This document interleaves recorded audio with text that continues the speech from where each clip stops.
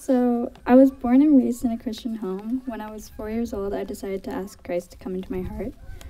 A couple years ago, I really ended up struggling with self image, bullies, and basically just feeling ignored.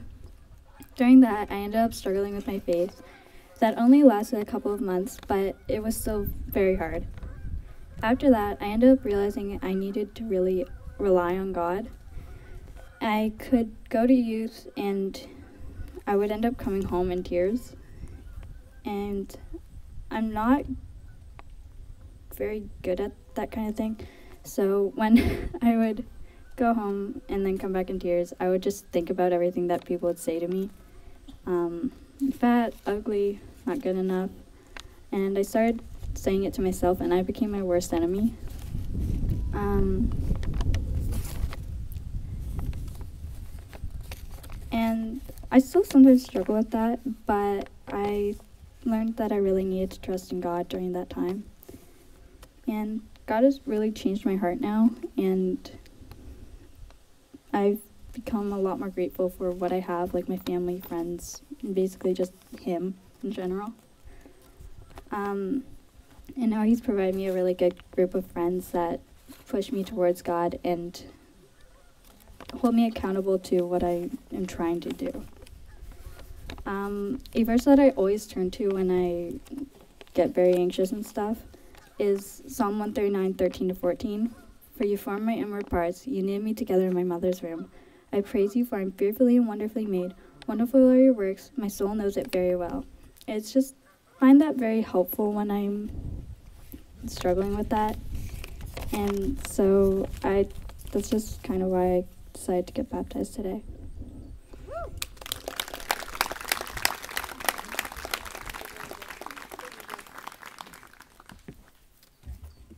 I might just take it off the thing. I don't know if I can. Yeah, keep going. Okay. Okay. When you stand in a court of law, they ask you to testify and solemnly swear that every part of the testimony you share will be the truth, the whole truth, and nothing but the truth.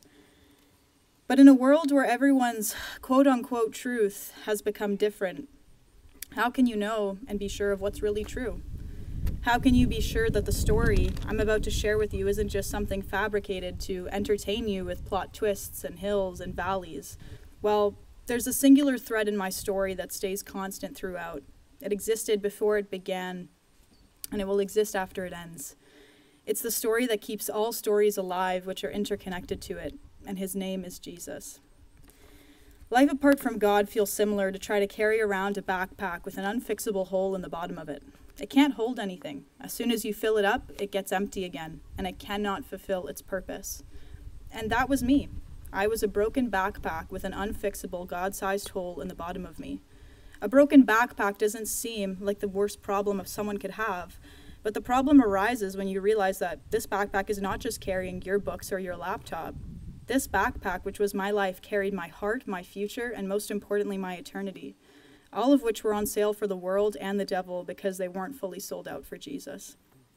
My mother, a Catholic immigrant from Eastern Europe, and my dad, a Coptic Orthodox immigrant from Sudan, were a part of nothing short from a miracle from God Himself when they both decided to accept the true gospel and experience the transformative healing power of Jesus, which occurred early on in my life as a child. That was the first time Jesus told me He wanted a personal relationship with me, too. And you know, I wish the story could have stopped there and I lived the perfect Christian life and that's how I came to be saved. But it's not. Little did I know how many mistakes and wrong turns I would make before finally coming back to tell him, yes, I want that too. In my university years, I drifted from God a lot. I'd become so distracted with my own plans, ambitions, and desires that I forgot God's role in all of it. I was in a perfect place for the devil to tempt me with new experiences, friends, and situations that deteriorated my faith over time and because my foundation in Christ was not strong, when the wind and the storm came, I was shaken like a house built on sand. I got involved in the drinking and partying culture at my university I was attending in an effort to be seen as cool and valuable to the social circles I was a part of. This led me to poor decision making, poor self image, and heavy burdens of guilt and shame, which weighed me down deeper and deeper into the pit that I was digging. After living life by my playbook for the first three years of university, the final push into the pit was a devastating heartbreak. I knew God was there but he seemed so far away now. His solution seemed impossible, and my situation seemed unfixable. This backpack I was carrying no longer had a hole, but was on the verge of being torn apart. Feeling as good as nothing, I hit rock bottom. And when you hit rock bottom, the beautiful paradox of such a low moment like this is that the only way to look is up. That's when I found the light because the only direction I could look amidst the darkness was Jesus. Like it says in Psalm 107, that's why he broke them with hard labor. They fell and no one was there to help them. The only way to run was Jesus because he is the way. As it says in verse 14 of the same psalm, he led them from the darkness and the deepest gloom, and he snapped their chains. Through the process of healing from this heartbreak, the Spirit got to work in purifying and cleansing my heart. After I'd made myself numb to its instruction for so long, I got sick and tired of wearing the lukewarm blanket of Christianity. I'd always called myself a Christian, and I wore that blanket whenever it got cold, and I used it to cover my eyes like a little child when something scared me. But as soon as the morning came, I threw it off like I never needed it. I felt conviction in places in my life where I used to view things as relatively normal. I was healed from things I didn't even know I needed healing from. Then God decided to speak to me again. After 10 years of waiting on me, hoping I would come home, talk about the true definition of love is patient, love is kind. He then asked me the same question he asked that 10 year old girl 10 years ago when she saw both of her parents get baptized and their lives become forever changed because of one man named Jesus. He said, Do you still want that relationship with me? Finally, I said yes, and he snapped my chains. One man's trash is another man's treasure, I thought to myself. I realized that this world had and will continue to kick me to the curb like trash, whether I'm for it or I'm against it. Luckily, when I was someone's trash sitting on the side of the street, the king of the universe saw me in that alleyway and he called me his. He called me accepted, his child, his masterpiece, chosen, precious, loved, free.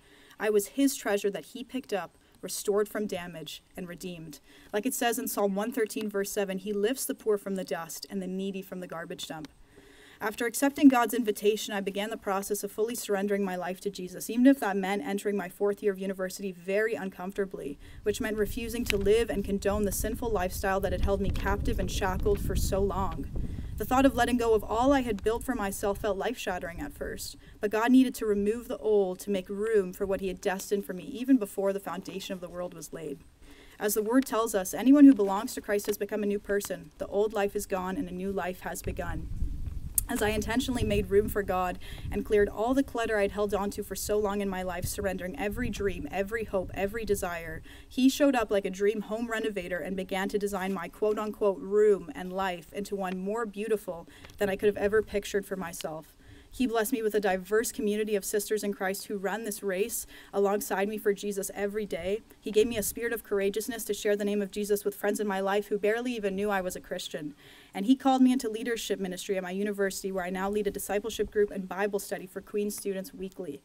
Most surprisingly, the very song God used to build my testimony, called Make Room, was the exact same song He used to reawaken the gift for worship He placed inside me long ago.